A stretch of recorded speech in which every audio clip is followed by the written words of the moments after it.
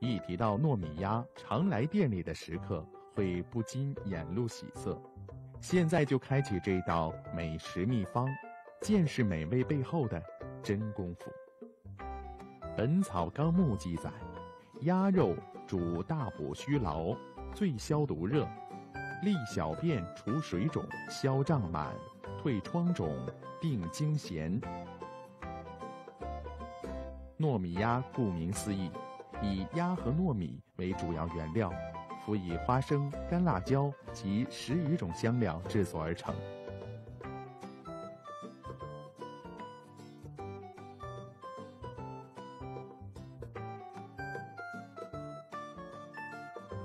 糯米营养丰富，补中益气、健脾养胃，治虚汗之功效。为节省时间，先将糯米淘净蒸煮做熟，同时开始卤鸭的工作。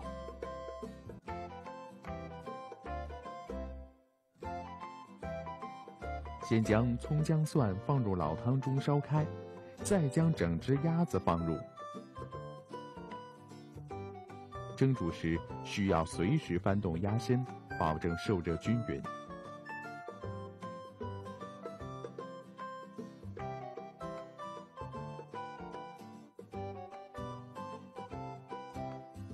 翻动时，老汤的股股热浪冲出。不过，为了美食，还是要暂时忍受一下热浪的侵袭。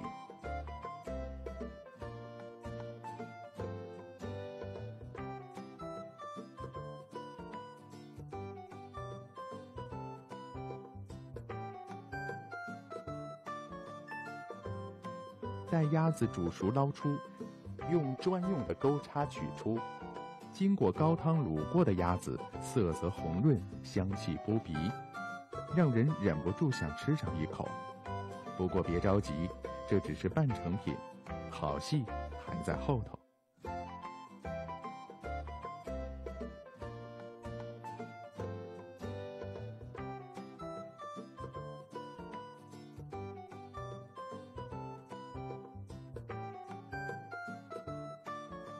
趁鸭子正热，将其切块，按照鸭肉的纹路撕成细条肉丝。铺于盘底，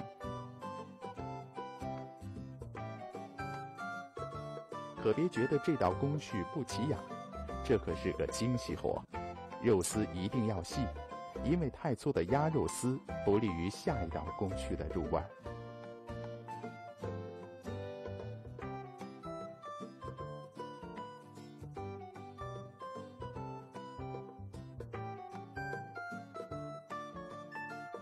此时，糯米饭已经通过一个小时的蒸煮，米香四溢。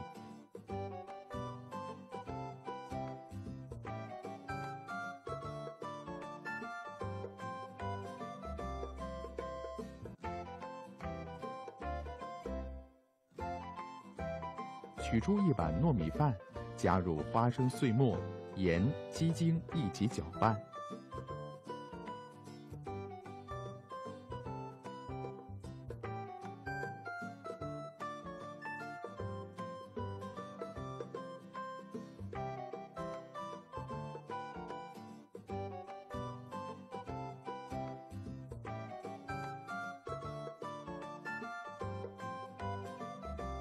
再将搅拌后的糯米饭均匀地盖在刚铺好的鸭肉上，形成饭饼。最后打上两个笨鸡蛋，把搅匀后的蛋液涂抹在饭饼上。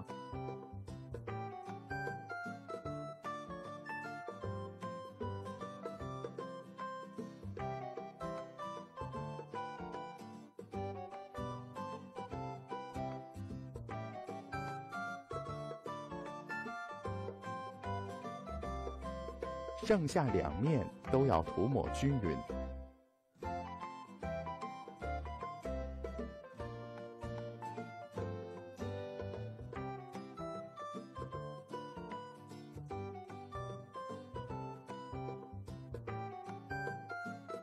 同时，另一边可以先烧热一锅油，油开后，将涂过鸡蛋液的饭饼倒入漏勺内。在滚烫的油锅里走上一遭，金灿灿的糯米鸭便做好了。别小看这块小小的糯米鸭，这可是两兄弟经过无数次的尝试和改良后做出的纯正辽阳味儿。可以说，兄弟俩的感情浇灌出的美味。